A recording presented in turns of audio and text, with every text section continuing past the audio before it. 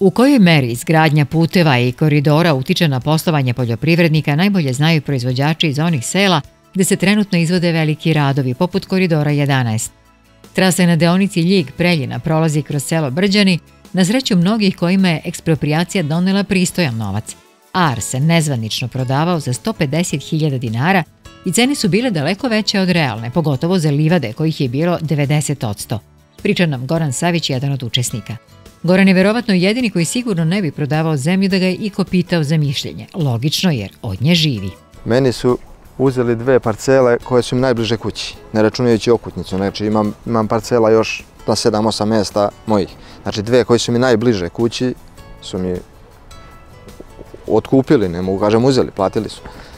Znači samo s tim što su, malo je to cena kakva je takva, nije bitno, nego malo je nekorektno kad ti uđe u parcelu uzme ti trećinu ili polovinu parcele, ali u jednom dijelu ostane ti dva kraja s jedne i s druge strane. Kao obezbedit će prilaze oni te pute, a šta će mi da dok oni urade te pute? Znači, meni pričam konkretno o toj parceli jednoj gdje su mi uzeli trećinu u sredini, znači ostalo mi s jedne strane s koje imam put i ulaz je bio s te strane. A sad onaj treći kraj dole, gore, ostaje mi kao slepi čvor.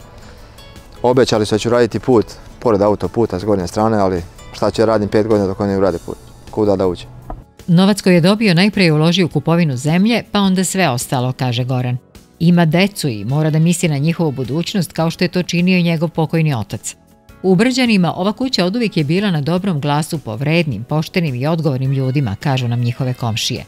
Tako je i danas, a da Goran u potpunosti čuva tradiciju, pokazuje njegov izbor da svaštari u poljoprivrednoj proizvodnji. Naši stari su pričali, dede moji, jedan i drugi. Pričali su kao da mi smo ovdje rođeni da, da svaštarimo i tako je i sastav zemlje, nije to nešto plodno, nije obezveđena ni prodaja bilo čega da ti to bude sigurno. Međutim, ja kad sam bio mlad, mislim, kad sam počinjao, ja sam razmišljao, ma kako to, najbolje to jedno da se radi, znaš, pa da, da sve, ali, ali ne može, mora to ipak da bude, da se svaštari. Jer ništa nije sigurno, znači, vidite sad i svinje i ovce, sve to, cena možda bude 180 dinara, možda bude 280 dinara. Ako imaš sreće da imaš kad treba, kad je najbolja cena, onda si dobar. Ako zakasniš 20 dana, nemaš ništa. Goran ima voćnjak, uzgaja stoku, ratari i sve uglavnom radi sam. Oprezan je i vodi računa o kalkulacijama, pa je zato ove godine u štali manje krava nego obično. Bude ih oko 10, ali ove godine zbog suše i nedostatka hrane svega ih je četiri, tri krave i jedna junica. Dobro je da je i ovo sačuvao, kaže on i priznaje da najviše zasluga za to ima silaža koju je radio posle puno godina. To je bio pravi potes. Znači za ovu zimu je bio pravi potes. Samo da je više bilo, jel? Pa do, da je bilo više u svakom slučaju, ali bila je dobra, kvalitet je bio dobar. I sad izvukla mi, znači spasla mi je sena dovoljno da mogu da sad bezbrižno čekam košenje. I sa ovcama je postigao šta je hteo. Nekada su Savići gajili cigaju pasjeničku, ali je nabavka ovnova rase Wirtenberg i Ile Fransa donela meleze željenog kvaliteta koje pečenjere unapred naručuju. Meni daje dobre rezultate. Znači jagnje se otprilike tri puta u dve godine. Sad su ove zime malo su malo su manji prosek imali, imali su negdje oko 1.3, 1.35, ali zato prošle godine imao sam 1.7, znači u prosjeku negdje oko 1,5 jagnje, tri puta godišnje, pa to je 4,5 do 5 jagnjića za dve godine po ovci. Koliko pečenjere plaćaju? Pa sad sam dao po 250 dinara pre par dana, a davao sam za Sveti Jovan 270. Goran je pre više od 15 godina zasadio prvih 50 stabala šljive, i to od prve plate.